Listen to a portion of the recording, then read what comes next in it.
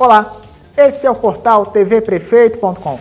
Eu sou Carlos Martins e você vai conferir as principais notícias desta terça-feira, dia 31 de janeiro. O presidente Luiz Inácio Lula da Silva assinou nesta terça-feira um decreto que cria o Conselho de Participação Social. Os conselhos são uma forma de participação popular no Poder Executivo e são compostos por representantes de organizações da sociedade civil e do governo.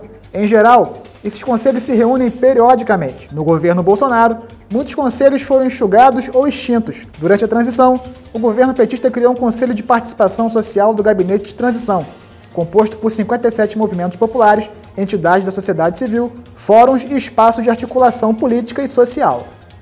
11 atletas do Clube Vila Maria Helena de Duque de Caxias ainda estão internados em hospitais de Minas Gerais. O ônibus em que eles estavam caiu de uma ponte nesta última segunda-feira, dia 30, na cidade mineira de Além, Paraíba, matando quatro jovens.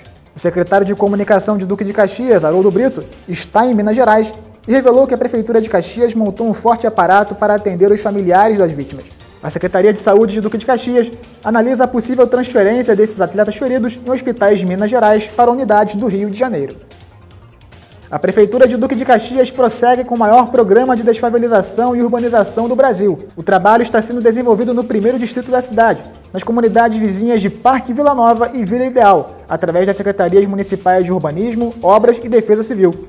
Uma equipe do urbanismo está há quase um ano realizando um cadastramento para o programa com a população local enquanto um grupo de trabalho de obras e defesa civil já demoliu cerca de 100 casas no Parque Vila Nova. O objetivo do programa é oferecer um novo projeto de habitação para os residentes das comunidades, com moradias dignas e a garantia do acesso deles aos serviços públicos essenciais à população. A Secretaria de Obras e Defesa Civil irá construir na região uma creche, escola, área de lazer e uma unidade básica de saúde.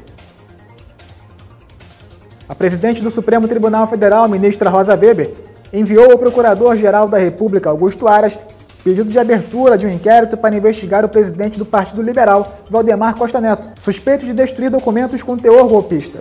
A petição 10.949 faz referência a uma possível prática de crime, previsto no artigo 305 do Código Penal. O artigo prevê reclusão de até seis anos, além de multa, aquele que destruir, suprimir ou ocultar em benefício próprio ou de outrem, ou em prejuízo alheio, documento público ou particular verdadeiro de que não podia dispor. Em declarações recentes, ao comentar a minuta de golpe apreendida na residência do ex-ministro da Justiça Anderson Torres, o presidente do PL disse que documentos com teor similar circulavam entre interlocutores do governo Bolsonaro e que ele próprio teria recebido documentos desse tipo, mas que os teria destruído. Para saber mais informações, acesse o nosso portal tvprefeito.com. Também não deixe de se inscrever em nosso canal no YouTube e nos seguir nas redes sociais. Até a próxima edição!